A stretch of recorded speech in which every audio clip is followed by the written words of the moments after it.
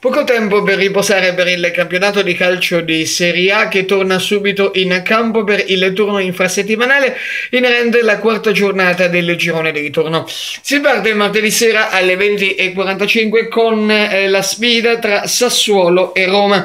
Entrambe arrivano da situazioni particolarmente differenti. I giallorossi di Spalletti che hanno vinto in casa l'Olimpico e il derby contro il Rosinone per 3-1, mentre i romagnoli sono reduci dal pareggio e esterno positivo contro l'Atalanta per 1-1. Domani poi il resto del programma. L'attenzione per la formazione giallorossa è di recuperare più punti possibili per ritornare nelle zone alte della classifica, mentre il Sassuolo continua la sua strada verso la salvezza.